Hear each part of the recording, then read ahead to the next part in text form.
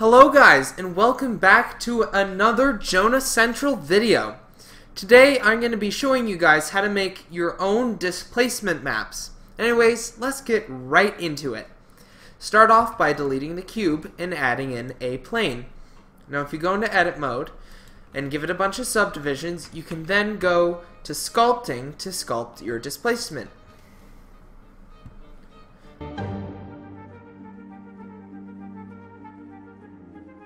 If you're having trouble seeing what you're doing, if you open viewport shading, you can change the MatCap, matte cap type to something where it's easier to see, such as the Studio Light Red.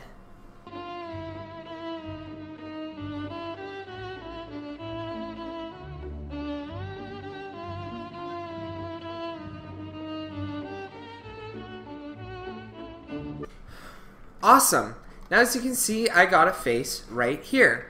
Now to give it some extra detail, otherwise it's going to look blocky, add a subdivision surface and change viewport up to something high like 3.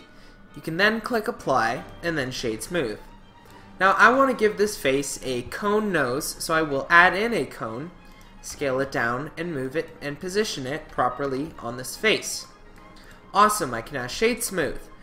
Now we're going to actually start making the different luminosity value for the height. So to start, start that off, select each part of your displacement map and press Ctrl J to combine them together or join them. Awesome! Now go to shading and create a new material. Delete the principled BSDF and add an emission shader.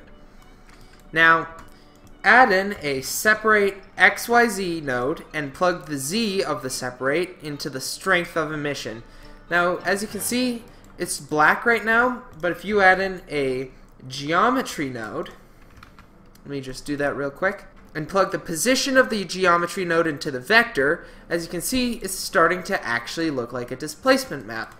Now, you can mess around with the displacement settings and luminosity settings by adding a mapping node in between the, the geometry node and separate XYZ. We're adding in a color ramp in between the separate XYZ and the emission or math nodes or whatever comes to mind. I'm going to mess around with the mapping node settings to make the displacement map look a bit more of what I'm looking for.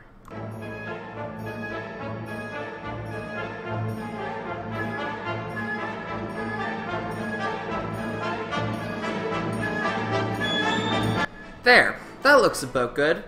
Now go to Layout, press 7 on the numpad, and then Control Alt 0 to move the camera on top of the plane. Make sure the camera is centered on the Y and X axis, and in my case it is, make sure it is in yours.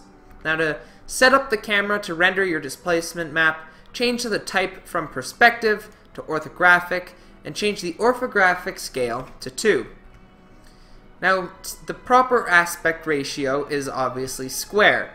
So in this case, I'm going to make a 4K one by cl clicking these three dots right here, clicking the 4K UHD TV, and then changing the Y resolution to the same as X. In this case, it is 3840. There! Now we got a perfect square that fits our plane. Now as you can see, because of subdividing, these corners have become rounded off. So a good way to fix that is by making the background black so it fades with your displacement map properly. Otherwise, when subdividing, you need to be a bit careful with the corners, maybe extrude it out a bit. Just make sure you don't have these rounded off corners because that'll ruin it if you're planning on tiling your displacement map. But now as you can see, we have got a displacement map. Now if I go back to camera view, um, it looks good. So now feel free to change the sampling to something better like 200 and rendering it. Awesome. Now you can go image, save as, and save it to a file location. Awesome. Now to use this displacement map, create a new file, delete the default cube, and add in a plane. Now if you go to the shading workspace and create a new material, add in a bump node, and plug the normal of that bump node into the normal of the principled BSDF. Now if you add in an image texture, you open up the displacement map you just made, you can plug the color of the image texture into the height of the bump node, and if you go into rendered mode and bring this light down, you can really see your height map getting used. Now sometimes it does create weird artifacts like this. I don't really know how to fix this, but it doesn't really matter because you're usually going to turn the strength down. Otherwise, I think it's all about how much samples you use, so it might help to render in cycles or use a denoiser. Or even going to compositing and blurring the image. But that is how you make your own displacement map. Anyways guys, thank you so much for watching, I hope this helps out for one of your future projects, and I'll see you guys later. Goodbye. Adios. Okay, see you guys later. Thank you for watching.